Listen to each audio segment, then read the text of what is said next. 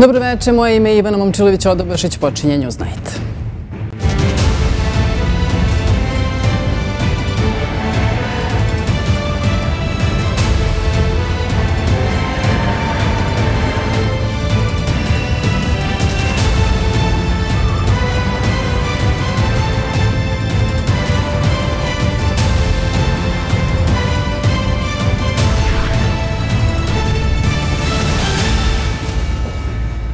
Večerašnjoj emisiji gledat ćete. Na ime mandatara još čekamo, ali znamo ko menja Vladimira Orlića na mestu predsjednika Skupštine.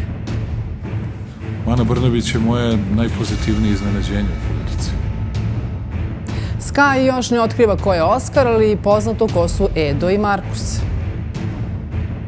Dokaza nema zato što nikada nisam bio u kontaktu sa osuđenim teškim kriminalcima i nikada nisam koristio Sky aplikaciju.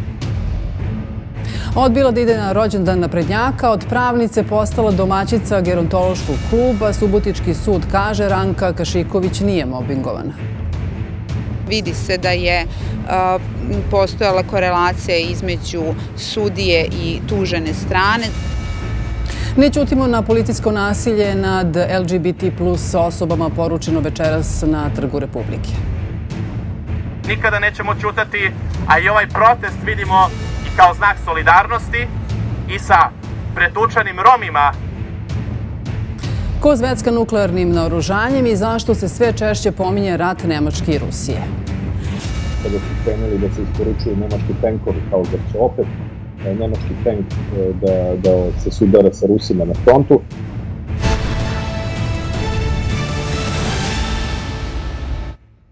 Završena je sednica predsjedništva Srpske napredne stranke. Kandidat za gradonačelnika Beograda je Aleksandar Šapić, a znamo i ko će najverovatnije biti na čelu Skupštine. Kako kaže Vučić, bit će to Ana Brnabić, jer je njegova, eh, njegovo najpozitivnije iznenađenje. Eh, mi odmah sada idemo eh, na našeg analitičara. Zašto je izbor pao baš na nju? Da li je ovo nagrada ili kazna? Razgovaramo sa Đorđem Vukadinovićem. Gospodine Vukadinoviću, dobroveče. Hvala hvala vam puno e, što govorite za N1.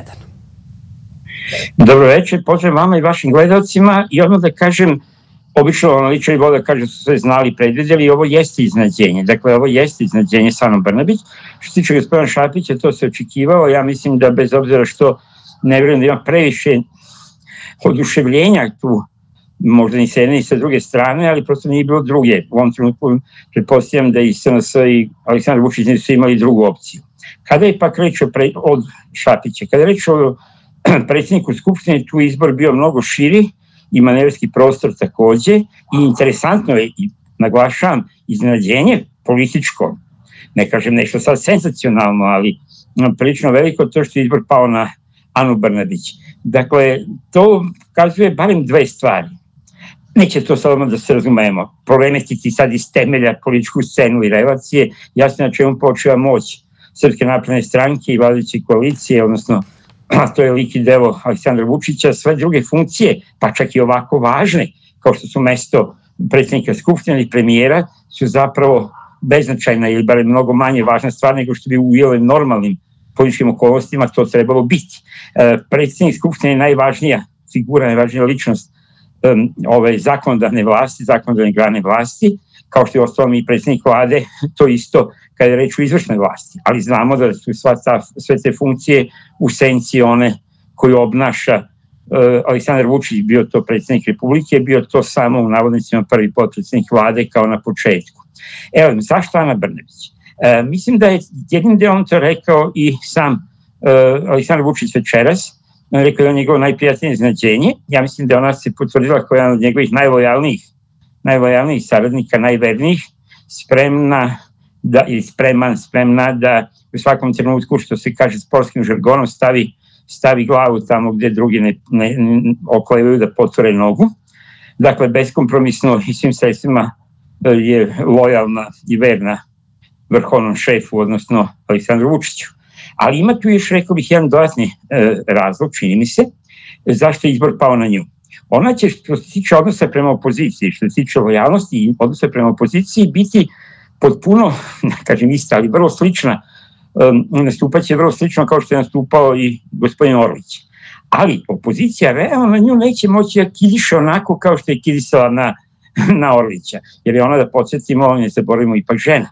Tako da mislim da je ovdje sad uticalo i to, znači pored lojalnosti, da je na izbor na odluku da bude ona e, predsjednik Skupštine uticalo i to što je žensko i što će opozicija koliko toliko ipak morati da vodi računa um, o toj činjenici, a ona se neće previše obazirati ili bar bilo bi iznenađenje kada bi bilo nešto bitno da, drugačije. I čuli smo, i čuli smo gospodine Vukadinoviću kako je uh, Vučić obrazložio, uh, on je molio da uzme nešto drugo, ali ona je uh, izabrala teže. Dakle, kažete, u, snaći će se u ulozi zamene Vladimira Orlića, ali hajde da vidimo zašto ne znamo ko je mandatar. Nekako se očekivalo da ćemo to večera saznati, ali s druge strane izgleda da Srpska napredna stranka žuri što pre da konstituiše do kraja parlament kako bi se raspisali, raspisali izbori beogradski. Upravo tako. Ja nisam čuo taj drugi deo obrazloženja, kao da je ona stala najteže. Jeste to realno i objektivno govoreći, vrlovatno najteže mesto u ovom trenutku, ali mislim isto tako da to što je palo, što samo reći deo oko izbora predsjednika, odnosno predsjednice Skupštine, e, mislim da to kazuje bar dve stvari. Da ta Skupština neće baš previše često ni mnogo raditi i zasedati s jedne strane, i sa druge strane teško će trajati četiri godine. Jer ne vjerujem da bi Ana Brnabić dolazila, niti bi on postavljala, niti bi ona prihvatila to da se zaista računa da će to trajati četiri godine. E sad, što se tiče mandatara ovaj, za vladu, to jeste također relativno e, neobično da nije saopšteno njegovo ime, ali to već uklapa se u onaj običajni manir Aleksandra Vučića da uvek čuva do zadnjeg neke odluke, da uvek stvara neizvesnosti tamo gde realno nema Tako da e, još malo da se promešaju karte, još malo se konsultuje, još malo se drži makar i veštačka tenzija i neizvesnost oko, oko ličnosti mandatara. Za mene je bilo iznadženje, ali odmah da, da to bude neko drugi sem e, Vučevića, ali sada, kako bih rekao, posle ovoga Sanom Brnabić, možemo očekivati možda iznadženje na toj strani. Gde? Siniša Mali? Ko, ko, ko bi mogao da bude eventualno, znam da je sve na nivou pretpostavki, ali pored Vučevića, ko bi mogao? Siniša Mali, koga još vidite kao mogućeg mandatara? Ne bi se sad puštao Mali, je svakako ozbiljan kandidat, iako se priča kako za njega E, da je on kao zadužen će biti za ovo oko EXPA, postala operativna oko EXPA, ali inače on još i kada je Ana Brnabić birana prošli put, odnosno poslednji put, naglašavam, treći put za e, predsjednika vlade, Mali je takođe bio ozbiljan kandidat, on je to i sada. E, kažem, pominju se i tu neka druga, druga imena, ali kažem, ne bi se upuštao u to, na kraju krajeva to je nešto što, nažalost, u zemlji Srbije nije od predstavnog značaja. Mhm. Evo, kao što ovo izbor Ane Brnabić jeste zanimljivo taktički potez. Ja verujem da je on malčice iznenadio opoziciju ovim, ali kažem to neće bitno uticati na odnose u političkoj sceni, malo će uticati na stanje i odnose u samoj skupštinskoj sali, znači tu će možda malo biti nekih promena, kažem neće moći kidisati recimo kao da je tu Milenko Jovanov ili, ili Orlić, mislim da su na toj, na toj funkciji u toj fotelji, ali se bitno nešto na političkoj sceni zaista neće promeniti. Da. I još nešto, e, gospodine Vukadinoviću, iz ovog, e, sa ove sednice predsjedništva Srpske napredne stranke možda zanimljivo. Kažu, razgovarali su i o globalnim pitanjima, ne samo o ovim. Pomenuli su naravno Kosovo, susrete sa Lajčekom, Dinar, ali i o globalnim temama. I e, predsjednik Vučić rekao, ovaj pokret koji najavljuje nije za izbore, kaže, citiram, već da bi se zemlji pomoglo u najtežem najtežim uslovima, jer su pred Srbijom i svetom, opet citiram, najteža vremena do sada. Dakle, pokret, čuli smo, nije za izbore. Da. E, pa, znate šta, nije za izbore, ali ne znači da neće biti i za izbore. Znači, znači da to neće biti i preizborna koalicija. Ali naravno da se uvijek to predstavi kao mnogo važnije i značajnije. Kao što se okolosti i teškoće i oblaci, ili tako, i predstavljaju strašni i bračni. To je deo standardnog repertoara, kao što sam zaustio da kažem, nastupa Aleksandra Vučića i SNS-a već deset godina, dakle uvek su to neki strašni e, oblaci, nije da ih nema daleko od toga, ali mislim to je realni politički život i realno stvarnog sveta koji nosi razne iskušenja. Tako mislim je to je više ona dramatizacija kojoj je on inače sklon u svim pitanjima, a sa druge strane i u svim vremenima. A također mislim da je to otprilike pokazuje kurs kojim će se ići kad je reč i ovoj kampanji za buduće beogradske izbore, a inače to je da će se pretjati vlada, odnosno svaka odluka, svako glasanje od mesne zajednice do Beograda kao sudbinsko i sudbonosno po opstanak države, što se već vidi iz najava i, ne sam, i samog Aleksandra Vučića i, i njegovih saradnika, dakle da je to nešto sudbinsko, odlučno, da se odlučuje o životu, smrti, tako da će on namjerno poturati ne samo opšte nacionalne teme, nego i globalne, nego i globalne teme u ovo što su zapravo, što bi trebalo budu lokalni izbori, što u Beogradu, što u drugim um, opštinama i gradovima po Srbiji. Ali će se to bukvalno svakom mestu, svakom gradu, ovaj, svakoj mesnoj zajednici predstavljati kao sudbinsko pitanje gdje se odlučuje o životu i smrti naroda, države, a možda i čovečanstva. Da. E, gospodine Vukadinoviću, puno hvala za razgovor. Hvala vam.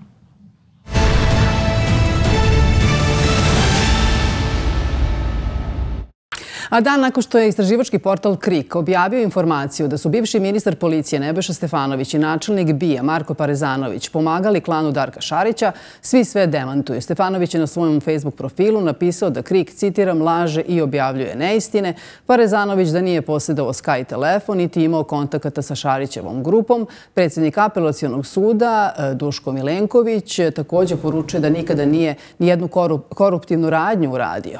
Institucije ćute. KRIK je objavio objavio prepisku preko Sky aplikacije koju je zabeležila francuska policija i dostavila je srpskim kolegama. Tužilo što za organizovani kriminal nije reagovalo. E, gost Newsnighta je Stevan Dojčinović, urednik e, na portalu KRIG. Dobroveče, hvala puno e, što ste naš gost. Hvala na pozivu. Da, pitanje prvo i svima najvažnije. Dakle, znamo ko su Edo i Markus iz ove prepiske. Trenutno, to se demantuje, kako sam rekla, ali policijska prepiska pokazuje. Eh, a ko je Oskar? Dakle, da li, da li na osnovu to, to, to pitanje, dakle, nije, na to pitanje nije skroz do kraja pa, da, to, kad smo bili priču, to je ključno pitanje koje je u mhm. fokusu javnosti. Evo, ljudi već uh, i na socijalnim mrežama, ali i eksperti i opozicija pogađaju ko to može biti i sva sumnja generalno javnosti o tome da je u suštini to predsjednik Vučić, što ima logike sa stanovišta toga da je definitivno Oskar osoba koja je bila iznad ministra policije, a sumnjamo da to mogla bude, na primjer, premijerka. Eh, eh, ali, eh, tako da je kao, svi prepostavljaju da je, da, je, da je predsjednik, ali ono što moram reći da ipak i dalje u ovom trenutku ne postoji ni jedan, da kažem, pisani dokument, materijalni dokaz da je on u pitanju, tako da su to i dalje prepostavke da je on taj Oskar. Eh, eh, ono što sada znamo jednostavno je to da su definitivno um, ministra policije Nebuša Stefanovića, također i Marka Prezanovića, koji je najuticajnijih ljudi u BII, da je srpska policija praktično prepoznala kao dve osobe koje su Šarić i njegovi sarednici nazivali Edo i Markus u njihovoj komunikaciji, koji su očigledno pomagali klan. To je ono što znamo u smislu da postoji neka vrsta dokaza, odnosno ovdje govorimo o krivičnoj policiji E, krivičnoj prijavi policije gdje su oni jasno imenovani kao ljudi koji se kriju za tih nikova. Međutim, ni sama policija u svojoj krivičnoj prijavi nije otkrila ko je Oskar. Tako da iz nekog razloga tvrde da nisu mogli da utvrde ko je on. Što je jako čudno jer mislim da jednim policijskim radom, ako imate pristup svim tim Skype porukama, da nije jako teško da se zaključe ko je on. I neki drugi ljudi, tu postoji dolar, postoji zapravo više tih nadimaka i tih ljudi koji su ljudi iz države koji su pomagali klan, eh, koji nisu razotkrivani ko su, ali Oskar je baš najinteresantniji jer je on očigledno stojao na vrhu piramide. I spekuliše se da to predsjednik Vučić, da. da. Ajmo za nekoga ko nije čitao ovaj tekst i eh, da objasnimo šta smo u stvari imali prilike da čujemo, odnosno pročitamo.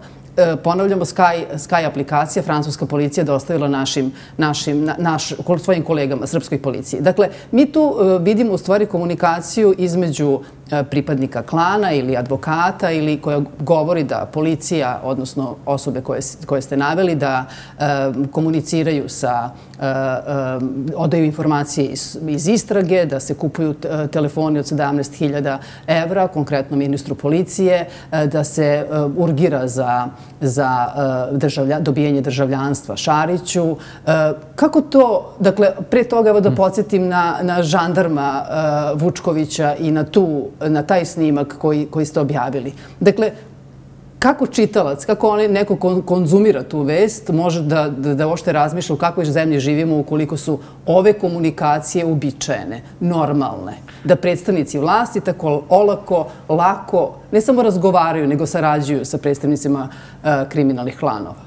Pa mislim da to jako zastrašujuće i da to čitavci vide i građani Srbije. Mislim, bez obzira što se, na primjer, juče dosta su se pravili ti mimovi, šale na internetu, ko je Oskar i tako dalje. Mislim da ipak svi kad to vide razumeju da smo u velikom problemu, pošto živimo u državi gdje postoji tako jaka veza između očigledno vrha države i organizovanog kriminala. I ono što je tu strašno, da ovaj slučaj koji smo danas objavili Šarić je samo jedan u nizu. Znači, spomenuli ste da smo rano, mislim da smo pre nekih malo više od mjesec dana ili koliko objavili priču o, o žandarmu Nenadu Vučkoviću, koji isto priča o tome kako je kriminal povezan sa, sa državom. Pre toga smo tokom prošle godine imali još dve, tri priče koji su iste stvari pokazivali. Znači, mi ne govorimo samo o klanu Šarića, govorimo o tome da postoji više kriminalnih grupa u Srbiji koje e, imaju podršku i zaleđenu državi i čiji kontakti bukvalno idu do vrha države. Naprimjer, taj Oskar je definitivno neko koje je, koje, koje, koje je na vrhu i e, praktično vidimo da ne postoji ništa suštinski što te veze može da da nekako e, raskine, jer jednostavno istorija se samo ponavlja u krug. Mi ako setimo slučaj Darka Šarića, ako se vratimo bukvalno više od deset godina unazad, setit ćemo se uh, tada priča koju su novinari objavljivali i mi uh, s njima o vezama koje Šarić tada imao sa ljudima iz vrha vlasti pre nego što je i, i, i Vučić došao na vlast. Znači, on je tada imao, ako sećate, mi smo u Kriku objavili još 2015. godine snimke čuvene sastanaka koji je jedan vodećih ljudi Šarićevog kartela imao sa Ivicom Dačić, koji je također bio ministar policije. I onda kada, kada su uhvaćeni u tim delima, vi biste prepostavili da će sad političari jednostavno da su naučili neku lekciju će prestati. Međutim, evo, deset godina kasnije mi imamo istu priču, imamo također Šarića, njegove saradnike, imamo drugog ministra policije koji bi u vezi s njima. I to je ono što je najstrašnije. Vidimo da apsolutno, očigledno, ne postoji ništa što jednostavno može naterati političare da raskinu te, te veze. Možda tu, e, dakle, ajmo da se vratimo sada na institucije. Možda to deluje banalno, ali tužilaštvo za organizovani kriminal u svim tim situacijama o kojima govorite nije reagovalo. Dakle, ili je reagovalo odbacivši odbacivši prijeve, na primjer, pa, pa u ovom prvom slučaju. On, to je najstrašnije zapravo reakcija tužilaštva i zapravo i te veze se održavaju decenijama upravo s toga što tužilaštvo ne želi, ne sme da uopšte uđe u te slučajevi da raspetlje korupciju. Mi ako pogledamo tužilaštvo jedino što uradi, ono uhapse i s vremena vreme kriminalce.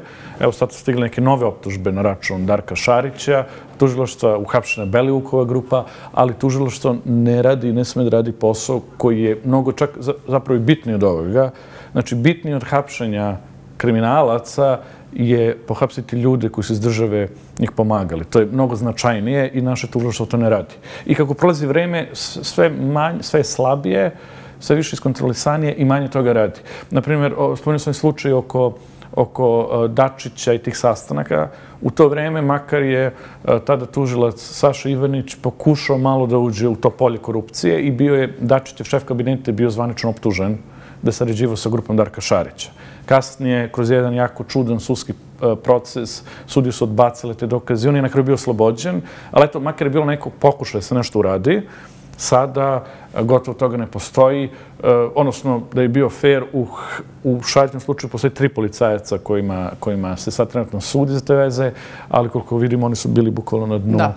te hierarhije Kako, kako uh, tumačite tu činjenicu da, na primjer, Sky aplikacija bude dovoljno jak dokaz, na primjer, crnogorskoj policiji da uhapsi jednu tužiteljku, da uhapsi visoko pozicionirane državne funkcionere u toj zemlji i samo čujemo hapšenje na oslovu Sky aplikacija, vijesti iz dana u dan, a srpska policija skoro pa nikoga.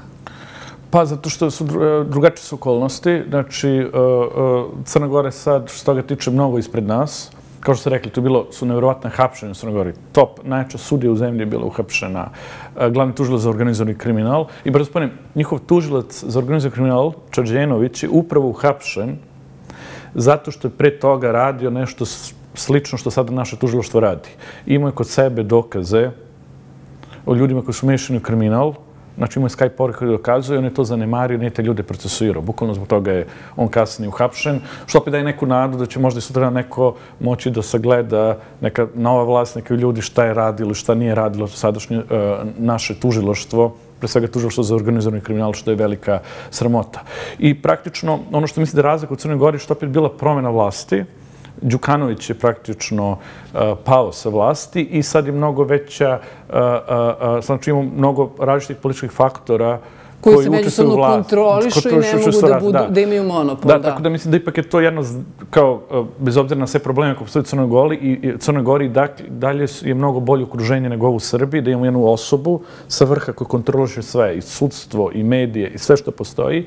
I u ovakvoj situaciji koju se mi nalazimo, jako teško zamislili da nešto može se desiti. Znači, na način da se nešto radi s slučajima da, kao što je bilo u Crnoj Gori, da, da neko novi dođe na vlast. Da. Ili pomoću više njih novih i onda da posle atmosfere da moguće stvarno neke stvari da se uredi. Kako iz perspektive nekoga ko se prilično bavio poslovima Nikole Petrovića gledate na ovo sada odluku po kome nije kriv za saobraćenu nesreću. Sam urin, u urinu je samo pronađen kokain. Kako vam izgleda? Pa to izgleda isto kao i ova priča o Košarića, svodi se na isto.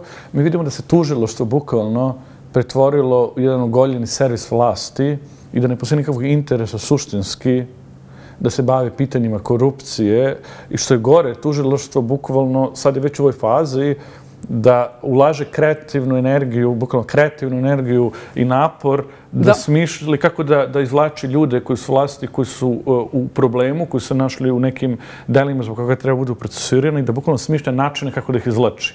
I to je stvarno e, zastrašujuće, ali je pukolno i teško i pojmljivo kako su možete stigli dotle.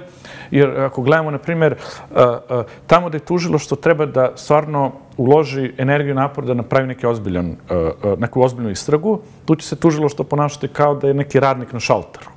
To je ovaj slučaj, na primjer, Šarić. Znači, tu imamo jednostavno funkcionere koji bi sad ono trebalo da utvrdi tačno ko su svi, ko je taj Oskar da ih procesuira zbog sradnje sa Šarićem.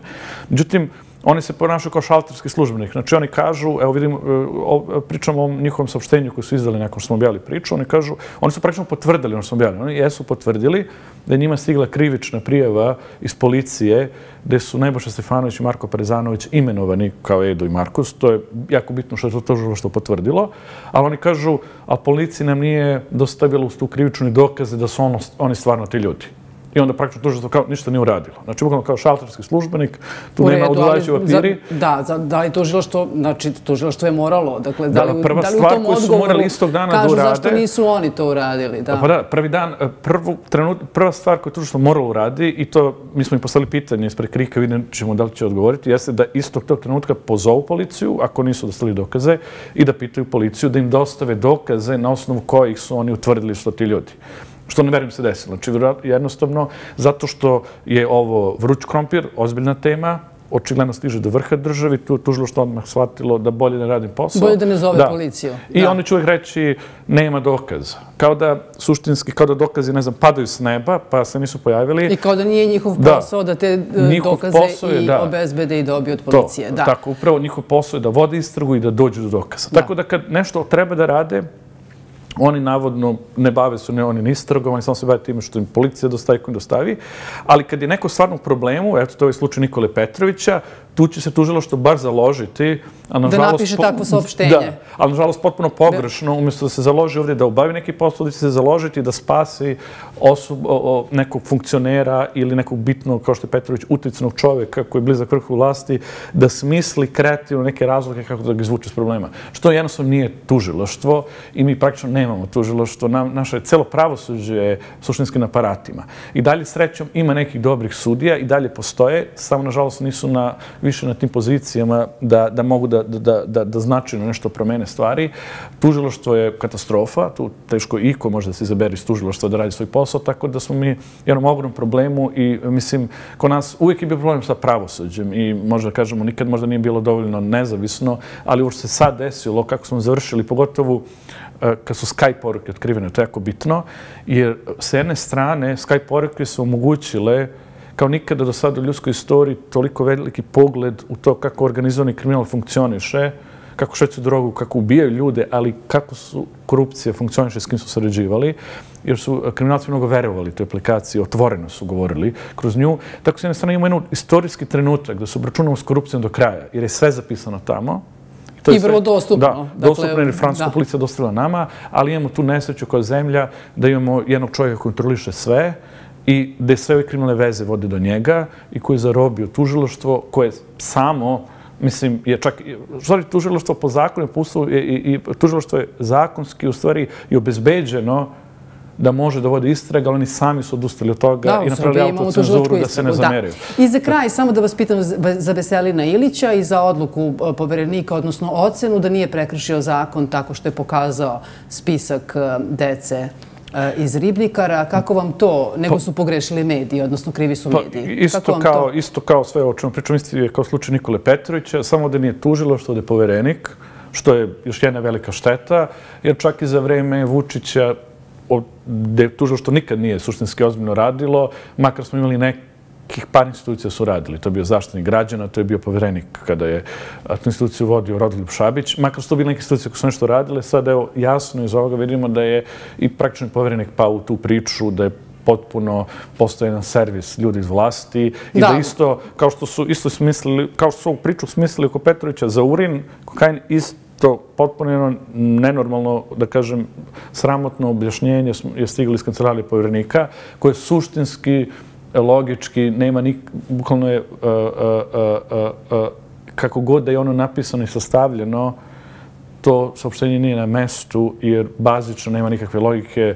Tu se tvrdi da čovjek koji je funkcioner, čovjek iz policije, koji je javno iznao papir, na koji se nalazila sva imena, nije odgovorno zbog toga, nego su praktično odgovorni mediji što su snimili taj papir. To je bukvalno izvrtanje stvarnosti. Da, tri sekunde samo, da, imali smo čak i sekundažu. To je, to je izvrtanje stvarnosti potpuno.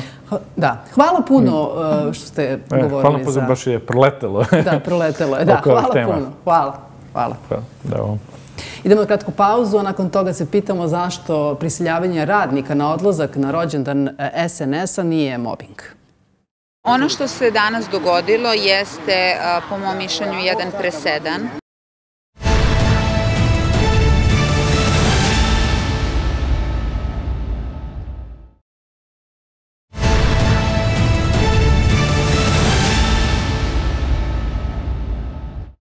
Odbila da ide na rođendansku žurku Srpske napredne stranke po nalogu direktorke, potom je premeštena na niže radno mesto, a onda je usledio mobbing, a onda je tužila direktorku. Danas je Viši sud u Subotici po njenoj tužbi e, kako bi dokazala mobbing koji je trpela i trpi odbio veštačenje. Za Ranku Kašiković ova poroka je jasna. Sudija sudi u dogovoru sa njenom direktorom Ranka Kašiković je gošća N1. Dobroveče, gospođo Kašiković. Hvala vam puno što govorite za N1. Hvala vama na pozivu. Evo, Ajmo da, da nam vi kažete šta, je danas, šta se danas dogodilo e, Danas se u Višem sudu u Subotici desilo nešto nečuveno i nezapamćeno u srpskom pravosuđu. To nije samo moje mišljenje. Znači, u sudnici su bili prisutna, bila je prisutna stručna javnost, Eh, bila je prisutna eh, bivša eh, penzionisana predsjednica suda, bili su prisutni pokrinjski poslanici, bili su prisutni narodni poslanici, advokati iz crte, znači mogu da kažem da su to ljudi koji su stručni u tom delokrugu rada. E, prosto je e, na kraju, pored mojih advokata, naravno, mišljenje svih nas bilo da je ovo nečuveno i nezapamćeno u srpskom pravosuđu. E, sudija, postupajuća sudija po predmetu, Jelena Petrik Popović, je na predlog tužene strane. Oni su podnesak dostavili pre nekih meseci i po dana e, da mi e, da donese među presudu, da mi odbiju e, medicinsko veštačenje i da prosto ona završi taj postupak. Ona je to danas prihvatila. Danas je trebao da bude saslušan svedok koji je predložen od, strane, od tužene strane. Eh, Nenad Ivanišević, svima poznat, eh, pokrajinski, eh, pokrajinski sekretar za privredu i turizam, koji je sad u tehničkom mandatu, koji je također i predsjednik pokrajinskog odbora SDP partije. Znači, on je funkcioner, on je trebao da bude njihov svedok, nije se pojavio na suđenje. Njegovi advokati su rekli da se razboleo dan dva pred suđenje. Pritom nije donao nikakvu, nisu doneli nikakvu medicinsku dokumentaciju, ni da mu je otvoreno bolovanje, ni da je bio kod nekog lekara. Apsolutno nije opravdan njegov izostanak. E, moja advokatica je odmah tražila e, da se on kazni. S obzirom da ne poštuje sud, da je to osnovna građanska dužnost svih nas da poštujemo sud, poziv na sud. To je već drugi put da e, jednom je odložio ročište, a danas se nije pojavio jer je navodno bolestan. Sudija je zanemarila prosto je zanemarila to što se on nije pojavio, o kazni nije razmatrala i onda su došli do toga da ga isključe kao svedoka. Znači, prosto su ga isključili kao svedoka. Kako su obrazložili to da su ga isključili? Nisu obrazložili. Nemaju obrazloženje. Prosto je sudija rekla da ga skidaju kao svedoka, da on više neće biti svedok.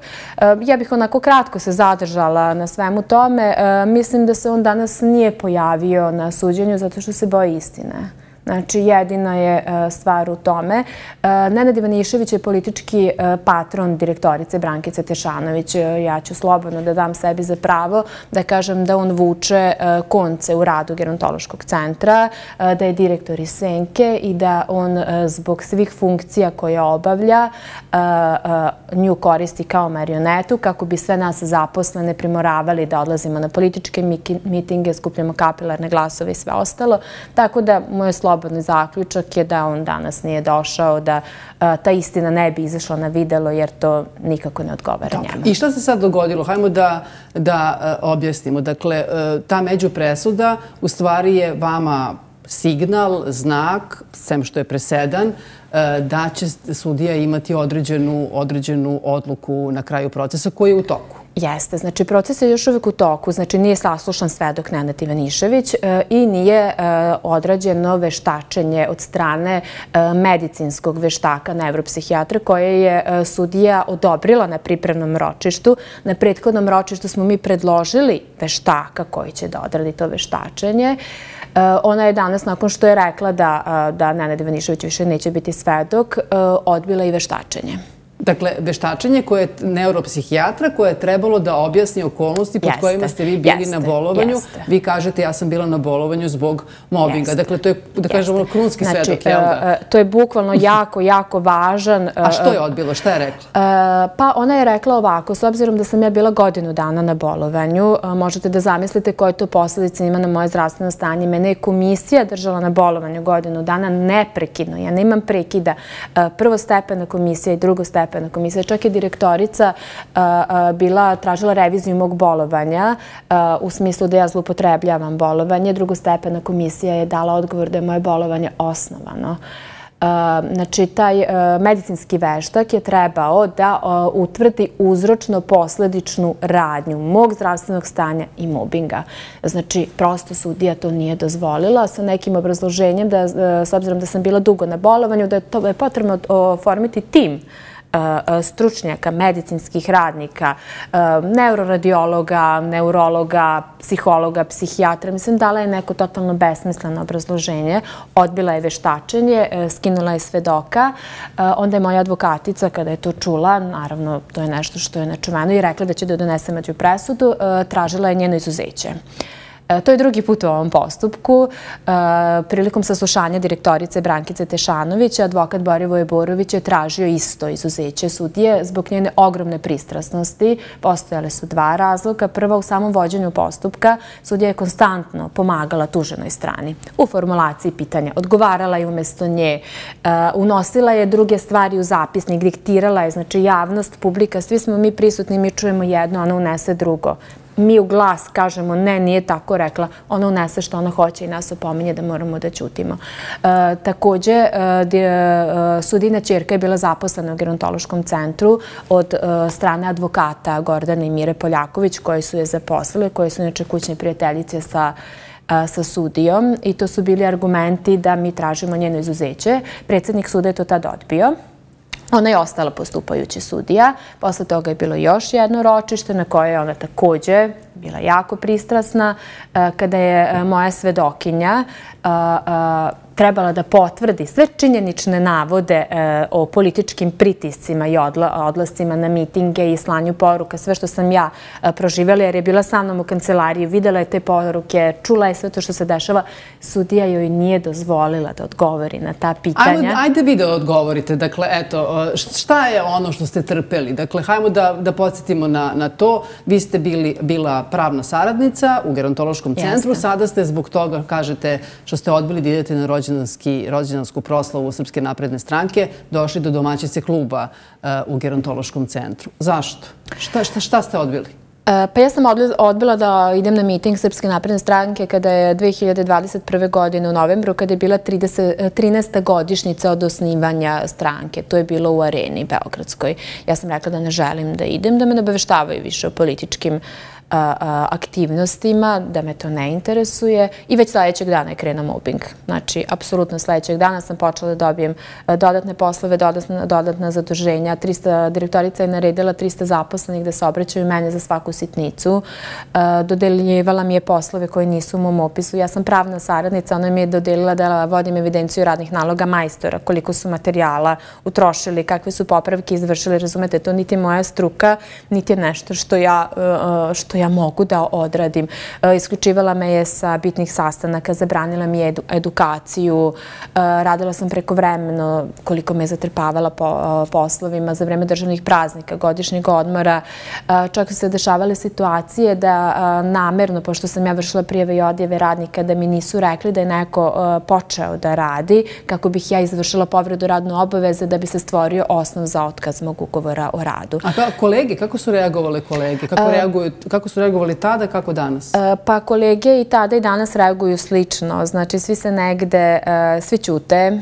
E, to je neka tabu tema o kojoj ne govore. Sklanjaju se od problema da ne bih oni i sami došli u problem. Samo koleginica koja mi je bila svedok na sudu, koja je bila sa mnom u kancelariji, svemu tome posvedočila je i dalje otvoreno javno priča o svemu tome, a ostali, nažalost, iz nekog prevelikog straha da ne bi dospeli u situaciju u kojoj sam ja, ćute i povlače se i to prosto, me niko ništa ne pita vezano za to. Kako sam se vratila na posao 1. marta 2023. godine, a apsolutno sa mnom o tome niko ne razgovara. A da li komuniciraju sa vama? E, komuniciraju. Komuniciraju kolege sa kojima se rađujem. Naravno, ima i kolega koji su e, politički, e, da kažemo, da mm, poltroni direktorice i Nana Devaniševića je prosto vrše neku diskriminaciju nadamnom. Ima i toga. Ali Bože moj, mislim, to su i dalje neki njihovi ljudi koji to rade iz svojih ličnih interesa, zato što su dobili odlaskom na sve te mitinge, dobili su, dobili su više pozicije, dobili su dodatke na platu i slične stvari. I onda ne, govore. Da. Recite mi šta dalje? Dakle, koju poruku sud sad šalje? Uh, vidite šta, ovako šta, šta, se ono de, šta se desilo danas, što je jako važno da istaknem. mi smo tražili izuzeće sudije po drugi put i tražili smo izuzeće predsjednika suda kao i da se sud izmesti iz Subotice. Postupajuća sudija je sama odlučila, iako to nije njena nadležnost, znači o njenom izuzeću odlučuje predsjednik suda, a u izuzeću predsjednika suda određuje e, predsjednik višeg suda, u ovom slučaju apelacijonog suda, a ne ona. Ona je rekla da ona odbija izuzeće. Moja advokatica je ustala i rekla onog momenta kada mi tražimo vaše izuzeće, vi morate da prestanete sa radom. Također smo tražili izuzeće predsjednika suda. Vi ne možete da nastavite da radite. Ona se oglušila to. Odbila je. Sama je odlučila da neće da izuzme ni sebe, ni predsjednika suda, ni da prosto se nastavlja raspravu tome, nego je e, predložila da se donese među presuda. Mislim, nažalost, ta među presuda za sobom povlači jako ozbiljne e, e, E, tako da ne znam šta da očekujem. Evo, u roku od 8 dana će biti donešena među presuda, ali nisam optimistična s obzirom da, e, da su napravili presedan, da nisu ispitali sve svedoke, da su zabranili veštačenje, da nismo odradili kompletno sudski postupak do kraja. Prosto, e, ja ću slobodno da kažem e, da je sudije u dogovoru sa advokatima Gerontološkog centra, da je to politički sređeno, rešeno, da je to politički pritisak. Ja negde mislim da se to sve sada dešava e, s obzirom da je u toku i da se priprema dolazak e, e, misije Evropskog parlamenta, da će da ispituju sve pritiske na zaposlene, da će da ispituju čitavu regularnost izbora, da su oni negde možda krenuli pošto poto da ovaj slučaj, pošto ja nisam jedini slučaj, znači imamo slučaj u Somboru gde su, gde isto kolega tužio za, za mobbing jer je do, eh, premešten u azil za, za, za pse sa, iz kancelarije. Znači, jako puno ljudi u sličoj situaciji kao ja. I mislim da su oni negde hteli što pre da rešavaju moj slučaj, da to više ne postoji, da se to ne bi ispitivalo dalje. Dobro, ali vi kada budete dobili presudu, kažete, mislite da će, vam se da će se presuditi da nije bio mobbing, šta dalje? Pa dalje imam pravo na žalbu. Ja imam pravo na žalbu i svakako ću se žaliti. Žalba ide apelacijnom sudu u Novom Sadu, to je sljedeći korak. E, ono što je jako dobro, e, mi imamo jako puno osnova na, e, u žalbi, prvenstveno na rad sudije. Ona je prekršila ogromne zakonske regulative, razumete? Ona je danas prekršila sve moguće zakone. Ona je odlučila da neće da izuzme sebe, što ne odlučuje ona, nego predsjednik suda. Odlučila je da, da se neće izuzeti predsjednik suda i da se neće izmestiti sudi Subotica. Mislim, ona to ne može da uradi, razumete? Znači, ona je trebala da prekine suđenje, pa da o tome odlučuje viša instanca. To nije njena nadležnost. Znači, ona je sve to ovaj, prosto zanemarila i, Dobro, i završila oni koji sad slušaju ovo, dakle, šta mislite? Vi ste stalno govorili uh, treba govoriti ne, treba reći ne. Dakle, i, i učestvovali ste u, u crtinoj kampanji zajedno sa pomenutim da, kolegom. Dakle, I dalje mislite da, da treba govoriti ne? E, ja i dalje mislim da treba govoriti ne i ja ću to uvek misliti. E, ja se danas ne osjećam loše, bez obzira na sve ovo što se desilo. E, ja se ne osjećam loše zato što prosto znam da idem ispravnim putem. Loše trebaju da se osjećaju ljudi koji rade takve stvari kao što radi sudija. Ja mislim da to je jedna velika sramota za nju. Jelena Petrik Popović je žena koja je pred penzijom i koja je dozvolila sebi ovakvu sramotu da prosto ja ne znam što da kažem. Mislim, ja to sebi nikad ne bi dozvolila. Ja svoj obraz uh, ne bih uh, nikada tako ukaljala i uvek bih rekla ne da bi moja savest uh, i moje dostojanstvo ostalo čisto. Tako da ja sam i dalje kod tog ne. Nažalost, nažalost, situacija u Srbiji je takva da mi nemamo nezavisno sudstvo i da će to još neki period da bude sigurno tako, ali ne trebamo da klonemo duhom i prosto ne trebamo da odustanemo od toga. Mislim, jeste teško i sad svi se pitaju E, e, E, e, čemu da mi tužimo, čemu da se borimo, ali ne možemo ni da prestanemo da se borimo. Mi prosto moramo da se borimo. Ja ću ići na apelacioni sud, posle toga ću ići na, na Vrhovni sud u Beogradu, a spremna sam da idem i na, na, na, na, u Strasbur na Međunarodni sud za ljudska prava. Takođe ću da uložim žalbu na rad sudije a, a, a, gde god budem mogla i da se obratim čak i Evropskom uh, uh, kancelariji za uh, ljudska prava Evropske unije u Beogradu. Znači, ja ću svoje prava da potrošim na, svim mogućim ovaj, mestima gde god je to dozvoljeno i neću odustati prosto do kraja. Hvala vam puno. Hvala vam puno što ste govorili za N1. Nema na čemu. Hvala vama.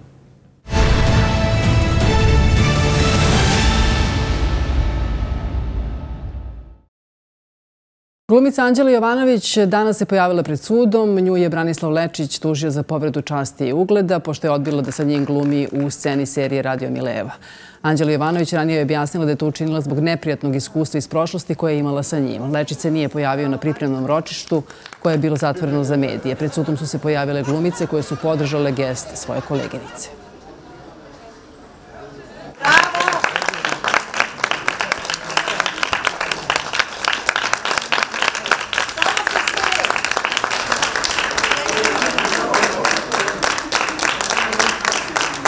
Što se tiče uskraćivanja prava na rad, ovo nije predmet tužbenog zahteva. Ovde se radi o povredi časti i ugleda, o navodnoj izjavi koje je navodnoj, koje je dala Anđela Jovanović. Ona će dati izjavu pred sudom. Mogu samo da kažem da je svako suvereno pravo, svakog umetnika, da slobodno odluči da li će učestvovati u nekom projektu ili ne.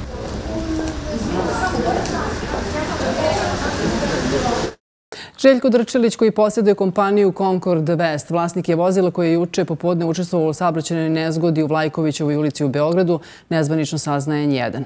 Vozilo koje je u vlasništu Drčilića se prevrnulo, a oštećeno je još nekoliko parkiranih automobila. Policija nije saopštila koji je učestvovao u toj e, krajnje neobičnoj sabraćenoj nezgodi, jer je u pitanju uska centralna gradska ulica u kojoj je teško može da se razvije velika brzina. Inače, Drčilićeva kompanija Concord West radila na velikim državnim projektima kao što su Sportski centar Radnički u Beogradu, Naučno-tehnološki park u Nišu, Institut za kardiovaskularne bolesti Dedinje 2, deo Beogradskog aerodroma Nikola Tesla.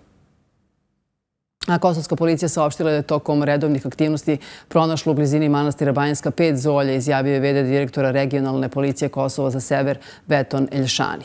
Sumnja se da su zolje vezane za događaj iz septembra prošle godine, odnosno da je oružje pripadalo grupi koja je 24. septembra izazvala incident u Banjskoj, rekao je Eljšani. E, posjećamo bivši podpredsjednik Srpske liste Milan Radojičić priznao je da je stoji iza organizacije i izvođenja ovog napada. Svet navijači italijanskog Lacija napravili su skandal u Minhenu. Najvatrenije pristalice rimskog kluba su poznate kao desničari, a utorok uveče otišli su u pivnicu gde su pevali fašističke pesme. Italijanska štampa je prenala snimak na kome se vidi kako na kraju pesmu zvikuju duče tri puta, skandirajući Benitu Mussoliniju. Inače, pivnica je mesto gde je Adolf Hitler 1920. godine osnovao svoju nacional-socijalističku radničku partiju Nemačke. Idemo na reklame, a nakon toga se pitamo kako je rat u Ukrajini uplošio Evropu od većeg rata na njenom tlu. Ključna igra poslednjih dana e, počela je onda kada je Emmanuel Macron rekao da ne može da isključi ni slanje kopnenih trupa u Ukrajinu,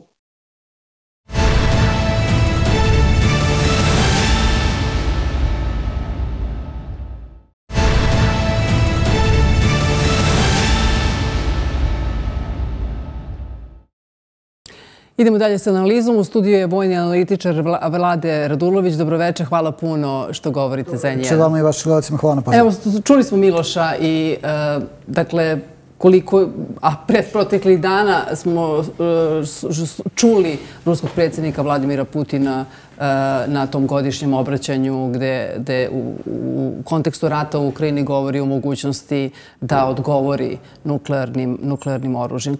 Kako razumete odmah kasnije State Department eh, govori o tome da su te eh, pretnje besmislice. Dakle, od kako je krenuo Da, oni su rekli da je to neozbiljna retorika, naročito kada je saopštava neko ko ima nuklearni potencijal kakav ima Ruska federacija. Bilo je još i nekih drugih komentara u smislu da je to pre svega jedna vrsta psihološkog pritiska, to je iz NATO-a došlo. Dakle, da je jedna vrsta psihološkog pritiska, ali tako na zapad, a po pitanju podrške Ukrajini. Bilo kako bilo, ja bih samo podsjetio da ako se fokusiramo na ovaj period nakon početka ruske agresije na Ukrajinu, dakle u proteklih dve godine, ovo nije prvi put da je ili predsjednik Putin ili Medvedev da su komentarisali, odnosno da su koristili nuklearni argument u svom govoru, obraćanju ili nekom saopštenju, kako god ono, eh, ono bilo. Da li to ima neku svoju eh, propagandnu ulogu ili tu neku, taj neki psihološki moment, tu neku psihološku komponentu, mogu se složiti eh, da ima i da se iz tog razloga koristi. Iako sada ako bismo terali mak na konac, što bi se reklo, onda bismo diskutovali da li se tu zaista misli o tom strateškom nuklearnom potencijalu, dakle ovim interkontinentalnim balističkim raketama o kojima smo od kolege slušali, ili se pak misli o onom drugom segmentu, to su te usnovečeno manje nuklearne bojeve glave, odnosno pričamo o taktičkom nuklearnom naružanju koje je između ostalog raspoređeno e, i u Belorusiji. Dakle, sada to možemo tumačiti sa jednog ili drugog aspekta, mada će vam mnogi reći da je jednačina iza tog znaka jednakosti, dakle, u toj jednačini stoji zapravo isti rezultat, a to je početak nuklearnog sukoba. Ajmo da sad objasnimo šta znači jedno, a šta znači drugo oružje. Strateško i taktičko. Da objasnimo koliko u kontekstu ovoga što plaši Jasno. upravo one koji Ajde da prvo da krenemo od ovog poslednjeg, odnosno od strateškog, tog najrazornijeg, najmoćnijeg i nekako to je zapravo uvek prva asocijacija kada se pominje i ovdje ste imali prilike da vidite te sve moćne rakete koje ne znam mogu da lete 8, 10 hiljada, 18 hiljada kilometara. Sada naročito ove nove koje imaju brzinu od po 20 plus mahovog broja, dakle lete 20-30 hiljada kilometara na čas, mogu da pogode bilo koju tačku e, na svetu. Međutim, dakle, postoji ovaj segment na koji bi se ja posebno osvrnuo, to je drugi, a to je taktički. Dakle, ukoliko pogledamo stratešku komponentu, ona pre svega ima, ja bih rekao, taj tu odvraćajuću ulogu. Dakle, ne dirajte nas jer imamo čime da odgovorimo. Isto tako nećemo upotrebiti jer znamo da vi imate čime da nam odgovorite. Dakle, to služi pre svega za ajde rećemo to strateško... snaga. baš tako. Međutim, na taktičkom nivou situacija je nešto drugačije. Iako e, vrlo kratko ne postoji jasna i konkretna definicija šta znači taktičko nuklearno naoružanje, posmatrajte to ovako. E, da je to jedna vrsta naoružanja koje pre svega može da se upotrebi na bojnom polju, dakle nema tu stratešku tako, namenu, e, već klasično tako vojnu, neko će reći i taktičku, govorimo o bojevim glavama koje su male, teže, male snage, dakle recimo negdje do 50 kilotona, pojedini je stavljaju i do 100 kilotona. Imajte u vidu samo poređenje radi, dakle, eh, Hiroshima, Nagasaki, govorimo 15-20 kilotona, dakle, nekoliko puta jače u odnosu na tada bačene atomske bombe. Eh, I ono što je interesantno, dakle, kada govorimo o tom dometu, dakle, ne govorimo o interkontinentalnim dometima, ne govorimo o hiljadama kilometara, već govorimo o nekim dometima od nekoliko stotina, dakle, 500 eh, kilometara i zato se upravo akcija stavlja na, na taj moment. Tu imate primjer, recimo, Iskandera i slično. I one su trenutno ruske u Belorusiji, to je ovo što je da. Na primjer, ako govorimo konkretno o tome, da. Da. Da. Problem je, znate, problem je kod njih što ne možete, imate jako kratko vreme za reagovanje, ne možete lako da ih uočite, a suštinski vi nuklearni bojevi blok, odnosno nuklearnu bojevu glavu, možete da stavite i na nosač, odnosno na raketu koja je konvencionalna, kao što je slučaj sa Iskanderom koji je raspoređen i, da, i u Belorusiji. Belorusiji da. Tako. E sad, um, ono što je isprovociralo da prvi put uopšte pomene mogućnost nuklearnog e, odgovora e, Putina jeste najava, prvo, dakle, rat u Ukrajini, da, ali najava da bi mogle eventualno zapadne vojske da pošalju svoje vojnike u Ukrajini. Evo sad čujemo, Macron kaže verovatno, verovatno razmatramo mogućnost, moguće je. E, američki predsjednik i dalje aktualan Biden kaže ne, on ne. Da. Pa većina, dakle, većina članica NATO je odrečno rekla da takva opcija, čak ni planovi, ni razmatranje ne postoje. Tako je. Da.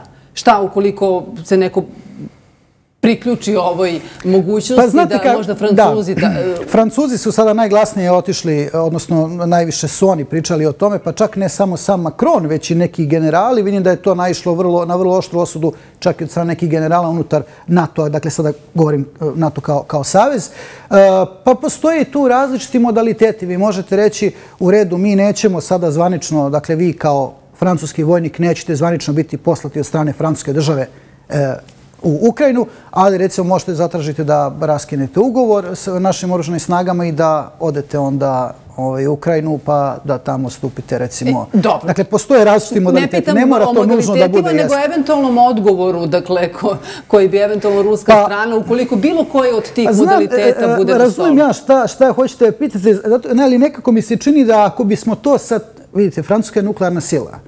E, daleko slabija u odnosu na, na Rusku federaciju, ali je članica NATO. Tako da to što je slabija, opet u konačnici ima negdje sličan broj nuklearnih bojevi glava kao je tako i Ruska federacija. E, ako bi to značilo, odnosno ako razmišljamo iz perspektive da će sada slanje francuskog vojnika, zvaničnog francuskog vojnika u francuskoj uniformi, e, u Ukrajinu značiti da Rusija može da pokrene taj argument da udari po ciljevima na teritoriji, po vojnim ciljevima na teritoriji Francuske, pa gospodno, mi smo onda u termonuklearnom ratu. To vam znači to. Pa očekujete da će... Ili sa druge strane će sada neke zemlje da kažu pa čekajte, da li mi imamo obavezu člana 5 da branimo zemlju članicu NATO ako je napadnuta? Jer to po Vašingtonskom ugovoru moramo. Dakle, da li to onda može da bude jedna vrsta e, testiranja NATO-a kao savjeza? Može. Ali čini mi se, ako to posmatramo iz te perspektive, bojim se da to nije dobar scenarij o kome, o kome razmišljamo. E, sa druge strane, činjenica je da kada pogledate neke, neka ruska dokumenta koja su procurela u proteklim godinama i ti scenariji kada može doći do upotrebe nuklearnog e, naoružanja, nekih 29 scenarija, jedan vrlo interesantan scenarij recimo i u slučaju sukoba sa Kinom.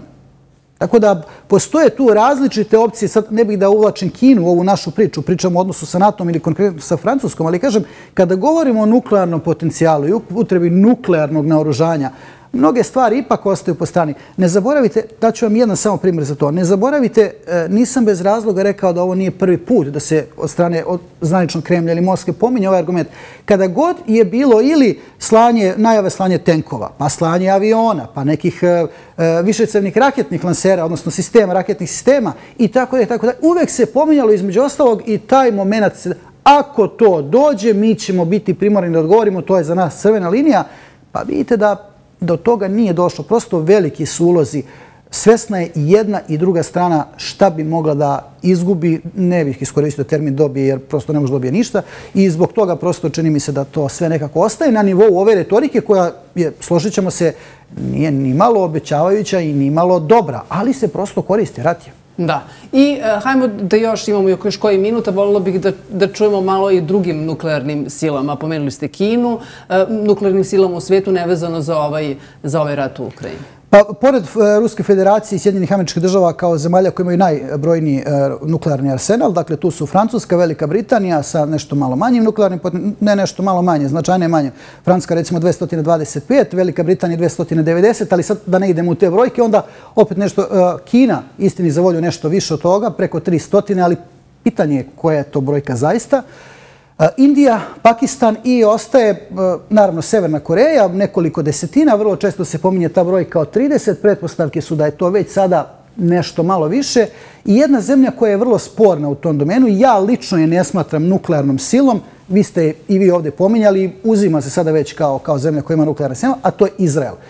Izrael zvanično nije potvrdio jel tako, da posjeduje nuklearni potencijal, Istina nije ga ni demantovao, pa sad možemo da tumačimo da li ili ne, ali je činjenica da, da se Izrael vrlo često ili gotovo po pravilu uvek pominje kada govorimo o ovaj, zemljama koje, koje posjeduju nuklearni potencijal. Ono što bih samo voleo da kažem, da iskoristim tu priliku, dakle, e, kada govorimo o nuklearnom arsenalu, treba imati u vidu da e, suštinski, e, naročito kada govorimo o Ruskoj federaciji i Sjedinjim američkim državama, oni ispunjavaju tu nuklearnu trijadu.